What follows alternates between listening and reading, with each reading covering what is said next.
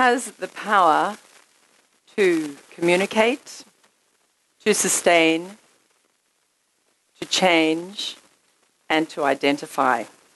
I am a musician, I play the clarinet, and playing music has taken me all over the world.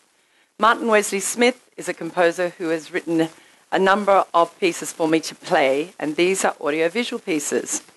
Now, an audiovisual piece is a piece with images on a screen and then electronic music with me, live clarinetist, and we all synchronize together. Um, one of the pieces that Martin played, has, has written, is called X. Martin's music is always about human rights issues, and these are pieces from places like Papua, Iraq, Afghanistan, and East Timor. And X was one of the pieces, and it means Xanana, Gusmao, but it is about the period of the time he was in prison in Indonesia and the situation in East Timor at the time. I took this piece with me on a tour to the United States two weeks after the terrorist attacks in 9 11. And this piece at the very end of it has the most haunting, sad song being sung by this Timorese woman, and the images have her with her hands in the air, and on the slab is her child who has died. And she half song, sobs and half sings this song. And after every performance I did of X at that time and since, no one in the audience applauds. Everybody just stands, sits there quietly weeping because they can, they, they can empathize with this woman and her pain because this was just after a terrible thing had happened to them and the exchange of emotions was very, very raw. I used this story to illustrate the power of music to express and to share feelings. But after uh, a little time, Martin and I got together and decided that we would come to East Timor in 2002. We played our concert in all manner of venues. We played our concert in halls, we played it in um, churches, and we even played it in the UN run police station up in Hatubuilico, where we exchanged our concert for accommodation in uh, a police cell for the night. Um, it was rather cold, but the most memorable experience.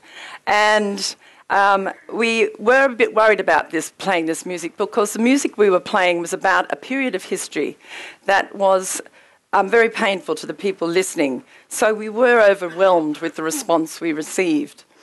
When, in Amera, which is a little village also up in the mountains, we did our concert to a packed hall but on the outside were the equal number of people bashing the door to try and get in. So we sent that lot of people out, played it all over again to the fresh lot of people. And um, that was also fairly extreme because we had to seal off all the walls and it was so hot. Um, but I'd like to um, also say that at the end of one of these concerts, a man came up to him and he said, You have all this music and all this technology, but our music is dying. Can you help us? So in 2003, in November, I began the first of many memorable trips to East Timor to record the traditional music and work out ways to make it sustainable for future generations. But what is this thing called music?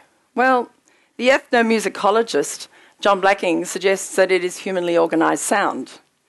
But some of you might argue with that. You might say, well, birds singing is music, frogs croaking is music, and even the wind in the trees is music. So clearly, what music is, is very different for everybody. But one thing is for sure it is a universal language and it cuts across all manner of societies and nation groups as it has the ability to express emotions that can't be said in language. The person sitting next to you right now, you might not understand the language that they speak, but if they were to sing you a fairly upbeat song, you might think, well, they're feeling pretty good. I don't feel so bad myself. So it has the ability to communicate. Let's try it out. This is Tupakura Lute. It is a Fatuluku song, and I recorded this in jungle like surroundings with um, um, the musicians I recorded it with, one of whom is a TEDx speaker today, Edson Carmina. And at the end of the first take of the recording, I got up and there was a little green tree snake right behind my bottom, um, and obviously enjoyed it too and just wandered off, didn't bother about anybody. So here it is.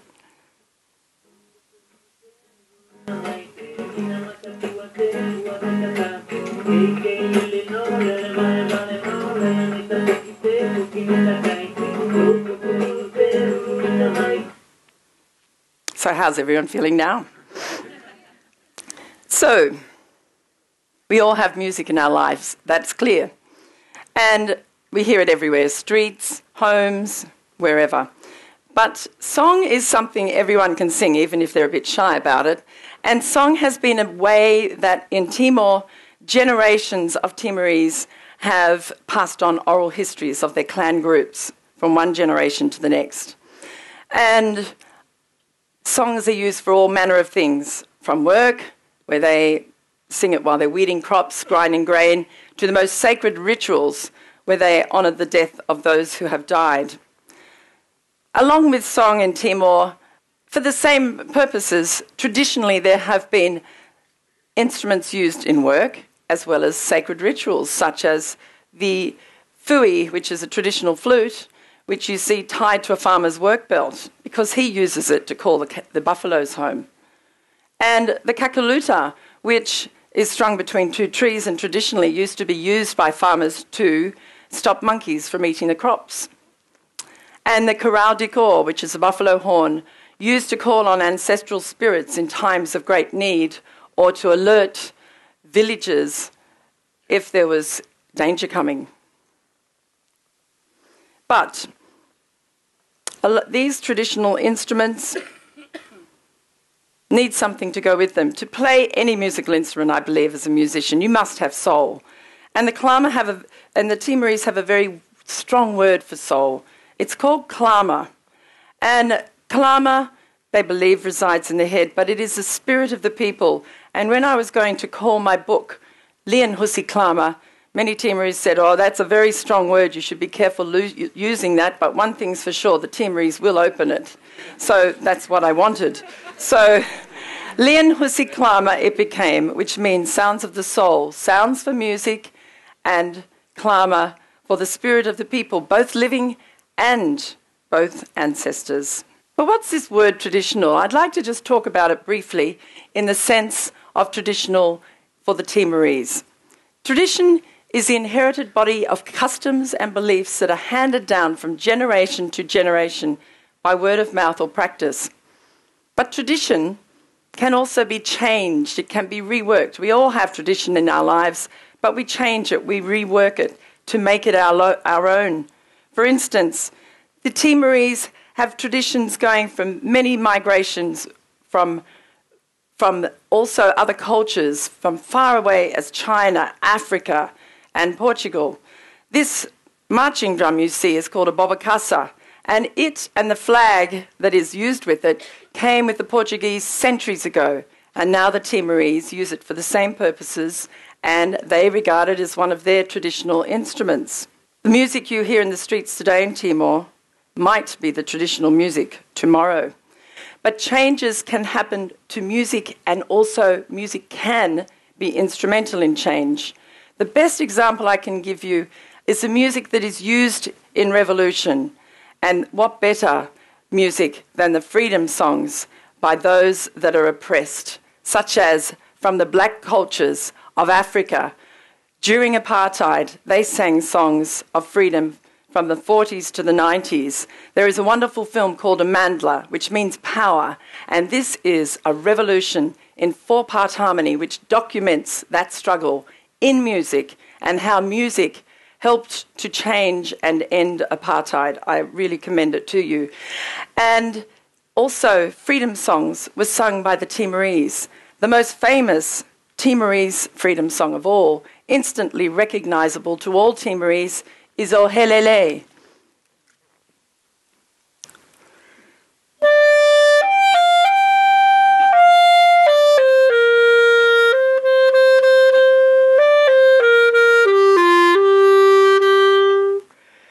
I sang that song up in the mountain. I played it on my clarinet actually um, several times, but once I played it very quietly, and this old woman was looking at me, very haunted looking expression. I repeated it every time I got a little bit louder. Then she started to smile. Then she started to sing. And so did the man next to her and the person next to him. And all these old people were singing with me. And then they started doing a tebe. Truly, it was wonderful. I'd like to also talk to you about identity the identity of occasion and place and culture. I cannot listen to Samuel Barber's Adagio for Strings without crying because it was sung or played at my mother's funeral. A lovely woman who recorded the most beautiful song, Hadomi Fretilin, could not sing me that song all the times I tried to record it in 2005 without breaking down because it reminded her every time of her husband and fathers uh, and, and, father and sons who were killed during Indonesian occupation.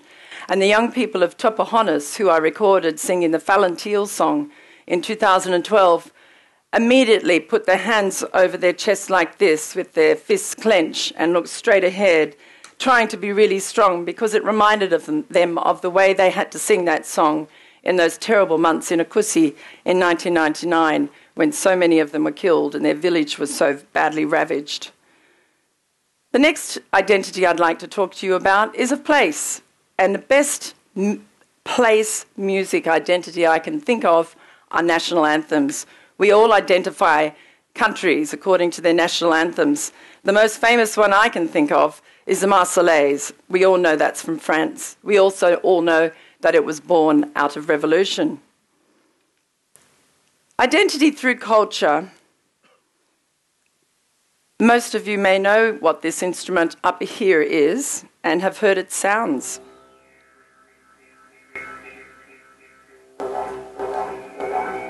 It's a didgeridoo from the Indigenous Australian people. But do you know this instrument and its sounds? That is the Rama, and it is from Makadade on the island of Atauro. And I recorded that in 2005 after I'd recorded something else that I'd gone for, and I didn't even know this instrument existed, and I heard its beautiful sounds from a dark veranda. It was really wonderful. The traditional music of Timor has had a tough time. It was almost devastated to extinction during Indonesian occupation. And when the world came to the rescue of the people of Timor in 1999, it brought with them the United Nations and many humanitarian NGOs who brought their own cultures, including their musical cultures.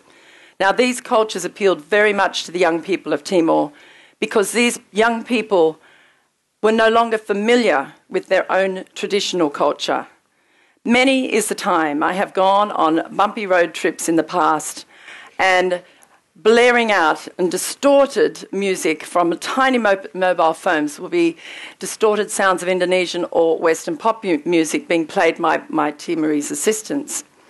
Now, I would sometimes say to them at these times, So, what do you think identifies your music as being uniquely Timorese? Well, we have many discussions on this subject, but one thing is for sure these young people have not heard or the music they're about to, that we are about to record or have just recorded, and they are really impressed when they do.